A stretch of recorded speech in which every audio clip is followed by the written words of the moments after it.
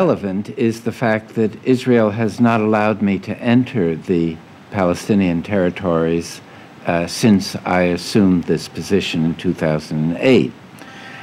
Uh, as far as um, uh, the this recent incident is concerned, uh, I do and have consistently always condemned indiscriminate violence uh, against Israel if it is um, if it emanates from Gaza through um, rocket fire.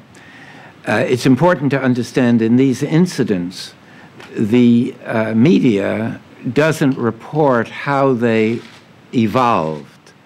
And in this case, for instance, the initial uh, violation of uh, the peace on the border uh, resulted from an Israeli incursion, uh, into land incursion into uh, Gaza.